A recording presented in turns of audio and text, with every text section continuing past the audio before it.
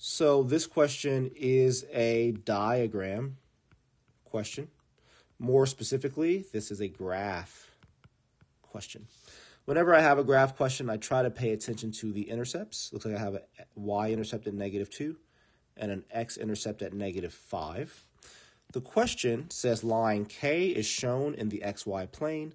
Line J, not shown, is perpendicular to line K. What is the slope of line J? Okay, so whenever you have perpendicular slopes, they are, let me just write a note for you here so you can remember it or write it in your notes if you like. Perpendicular lines have opposite reciprocal slopes.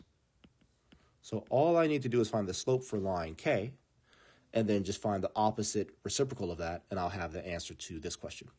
So the slope here, if I were to go, if I just use simple you know, slope is equal to rise over run, which I think is the easiest way to do this when you have a visual, instead of doing like a y2 minus y1 over x2 minus x1 calculation. I need to rise two units, so I'm up two, that's my rise. And then I'm going to run to the left one five units, so that's negative. So that's, that's my run. So my slope for line K is negative two fifths which means my slope for line, and I'll say, I'll call that MK, slope for line K. My slope for line J is the opposite sign, so positive, and then reciprocal, so 5 over 2.